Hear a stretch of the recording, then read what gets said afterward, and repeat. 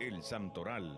Historia, reflexión y ejemplo de cada santo. Con el presbítero Juan Duque.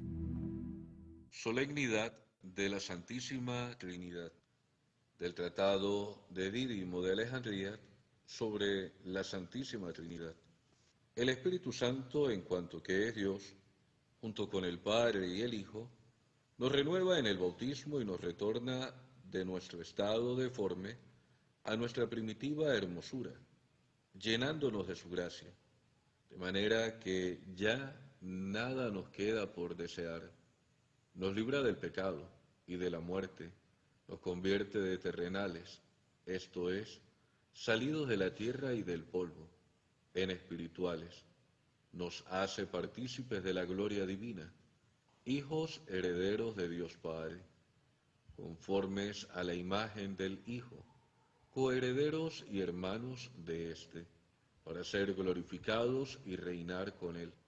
En vez de la tierra nos da el cielo, y nos abre generosamente las puertas del paraíso, honrándonos más que los mismos ángeles, y con las aguas sagradas de la piscina bautismal apaga el gran fuego inextinguible del infierno.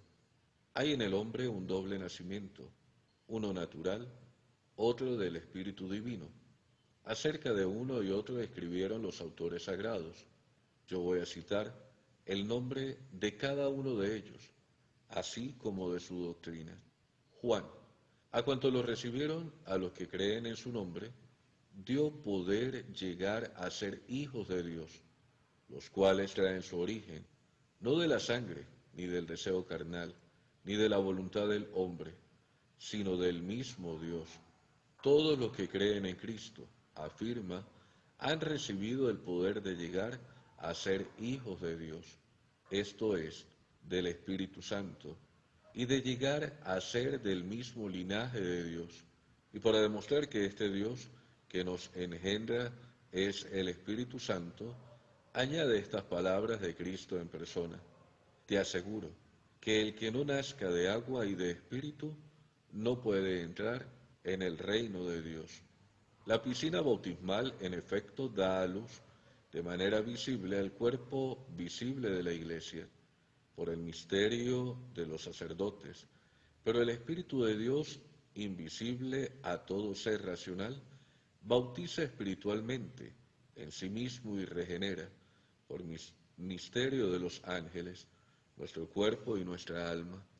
Juan el Bautista, en relación con aquella expresión de agua y de espíritu, dice refiriéndose a Cristo, Él os bautizará con el Espíritu Santo y con fuego, ya que nosotros somos como una vasija de barro. Por eso necesitamos en primer lugar ser purificados por el agua, después de ser fortalecidos y perfeccionados por el fuego espiritual. Dios, en efecto, es fuego devorador, y así necesitamos del Espíritu Santo para nuestra perfección y renovación, ya que este fuego espiritual es también capaz de regar y esta agua espiritual es capaz de fundir como el fuego.